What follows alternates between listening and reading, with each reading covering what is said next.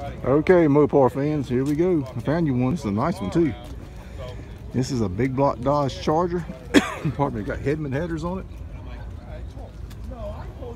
Ah, nice machine right there. Check out them wheels. This, I think they call that the Rally Strike.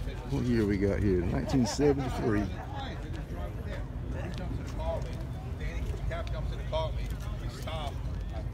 I always love these cars. I had one of these and I had to sell it. Sean Beef, you know about that.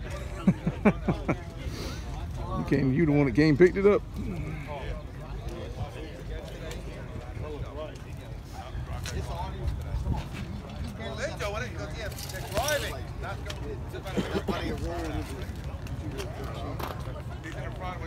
Rally Dash, yes sir. Getting a look at those wheels. I had never seen these wheels before, folks. It's new one on me. Got the bulge hood, 440 Magnum.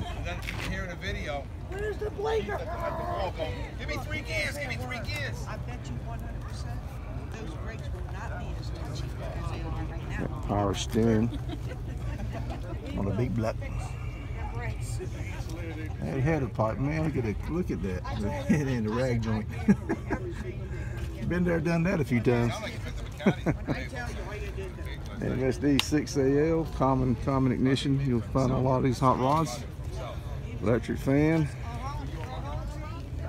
And the belt driven fan. That's the way to do it when you're driving on the street, big block Mopar.